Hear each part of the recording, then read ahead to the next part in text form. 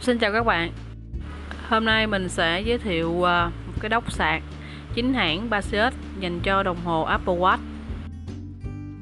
Nếu như các bạn đang dùng một cái ờ, ờ, sản phẩm của Apple Watch ví dụ như đồng hồ nè, điện thoại nè thì các bạn sẽ thấy là mua những cái phụ kiện dây cáp đốc sạc chính hãng của Apple rất là khó khăn với phụ kiện này thì các bạn có thể để một cái ở nhà, một cái ở ờ, công ty hoặc là đơn giản các bạn bỏ cái thiết bị này trong ba lô, không cần phải lo vấn đề rườm rà, dây nhợ giống như là dây ờ, zin kèm theo hộp. Ngoài cách sạc truyền thống như là việc kết hợp với lại góc sạc trực tiếp qua ổ điện, thì các bạn có thể sạc trên ô tô hoặc qua những cái thiết bị ờ, có cổng USB-A như laptop. Hoặc trong trường hợp các bạn đi công tác hay du lịch thì cũng có thể kết hợp với lại pin sạc dự phòng để à, sạc bằng cái nguồn điện 1A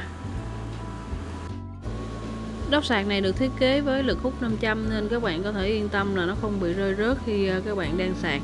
Mình có thể quay một vòng để à, thử cái lực hút nó mạnh như thế nào. Trước khi nhập cái đốc sạc Baseus bộ sưu tập Doctor này về, thì shop cũng đã từng nhập qua nhiều đốc sạc khác dành cho Apple Watch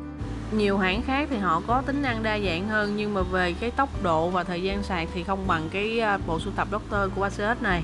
Và mình cũng đã sạc thử thì à, mình canh khoảng tầm 2 tiếng rưỡi là đầy 100% pin cho đồng hồ và watch giống như hãng giới thiệu. Sản phẩm này đang được bán tại à, Phương Vi Shop cảm ơn các bạn.